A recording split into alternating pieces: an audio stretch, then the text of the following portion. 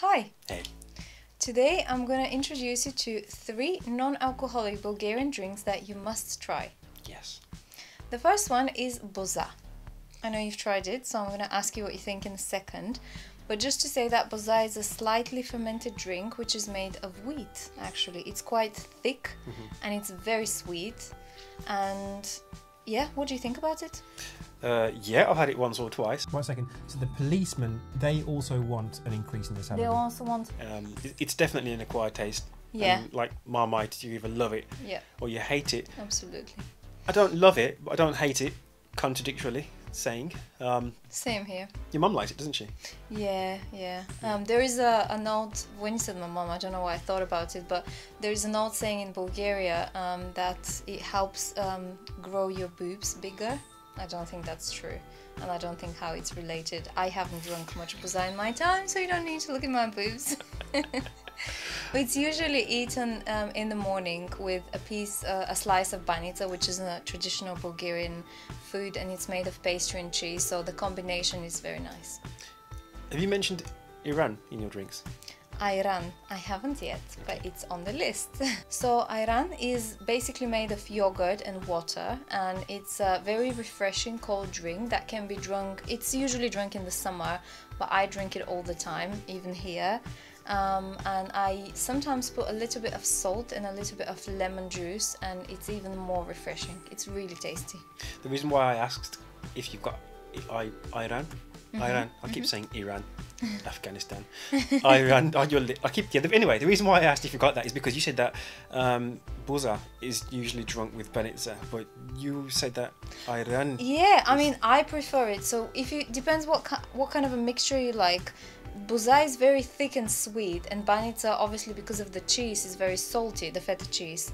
So the some people like the mixture of sweet and salty, and I I like it sometimes. But if I have to choose, I'll probably choose salty with salty. So I have the salty kind of ayran with the salty banitsa. All right, yeah, I like Iran.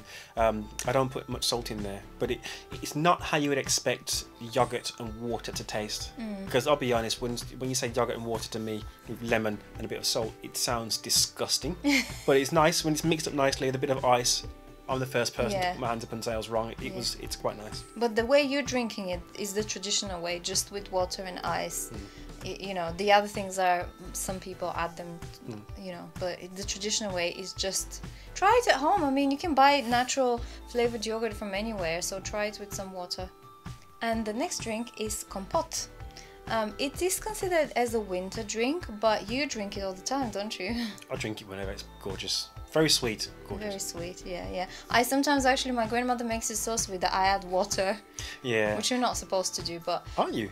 No, well, no, because you're supposed to mix it in a way that it's properly. You just open the jar and you drink it. Oh, okay. But because it's too sweet for me, I just sometimes add water. But basically, what compote is, it's um, water with fruits and sugar, and it's um, you know put in a jar which is made airtight. It's sealed airtight, and then it's boiled in these big I don't know what they call them. Like because many people in Bulgaria still have uh, houses in the villages, they actually pick up the fruits from their own gardens, and in that garden they have these huge um, places that you can boil Cauldron? jars. I guess so. Yeah. Like a witch. Yeah, but yeah, not not all witch stuff. But you, you boil the jars in there, and then you leave it to to um, what do you call it? Ferment. No, no, no, no. You just leave it to uh, get cold Okay. and you put it in your cellar and when it's winter you have a nice drink a nice like a juice drink and you have the fruits inside as well like an added bonus Okay. so it's, it's it's really nice i really love it Yeah, I like it too. I always thought that um, you were supposed to dilute it anyway because I thought it was like a concentrate. no It's very thick and syrupy. Yeah. That's just how your gran makes it. yeah my gran really likes it sweet So out of those three drinks you just mentioned, uh, Boza is the only one that's not homemade. Is that right? yeah i'm not sure how it because it's slightly fermented i think there is a more complicated process Can you buy Idan and um, Kumpat from the shop?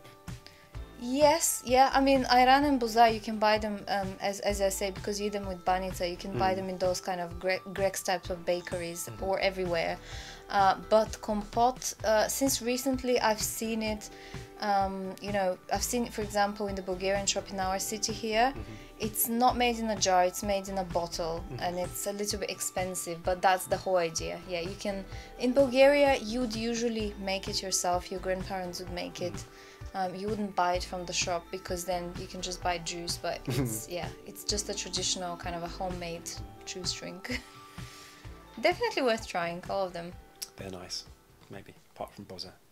Yeah.